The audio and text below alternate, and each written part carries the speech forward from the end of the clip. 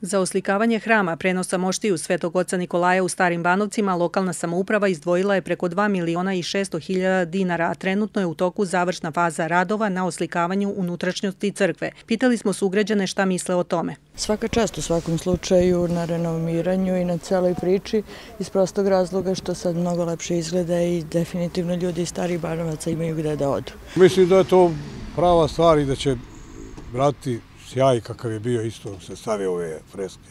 Oslikavanje treba da bude što pre i što lepše, jer je izgubilo svoje veličanstvo što je ova crkva nekad imala. Treba ulagati u crkvu svako kogod i teke može i trebamo se posvetiti crkvi. Prva faza oslikavanja je završena prošle godine. Oslikan je oltarski prostor kao i freske Hrista Pantokratora i presvete Bogorodice.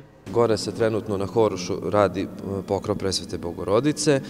Za desnom pernicom će biti roždestvo Hristovo, za levom će biti bogojavljanje i to je sve ono što je planirano po blagoslovu našeg episkopa Sremskog, gospodina Vasilija i po onome što ova crkva iziskuje. Ovo je barok i ne možemo ni očekivati da će ona biti oslikana kao što su to vizantijske crkve, vizantijski hramovi. Kako se ove godine obeležava 240 godina postojanja hrama, planirano je da se na dan hramovne slave prenosa moštiju Svetog oca Nikolaja 22. maja ovaj jubilej proslavi u potpuno obnovljenom i ulepšanom hramu. Trenutno se razgovara da se radi pod, da se uvede podno grejanje i onda da se urade stasidije, time bismo kompletirali na neki način ovo što sada nije dovršeno i kao kruna hrama, uređenja hrama, biće ulepšavanje i čišćenje ikonostasa. U kompletnu obnovu Starobanovačkog hrama uloženo je više od 30 miliona dinara, istakao je protojerej Aleksandar Cvitanović, starešina hrama u Starim Banovcima i zahvalio se čelnim ljudima opštine Stara Pazova na podršci i razumevanju.